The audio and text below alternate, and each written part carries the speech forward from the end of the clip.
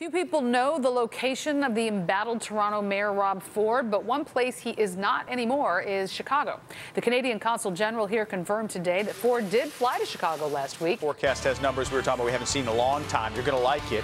Also, an up. Marion, back to you. I like hearing that. Thank you, thank you, Brant. So coming up, how a popular restaurant chain's making a difference.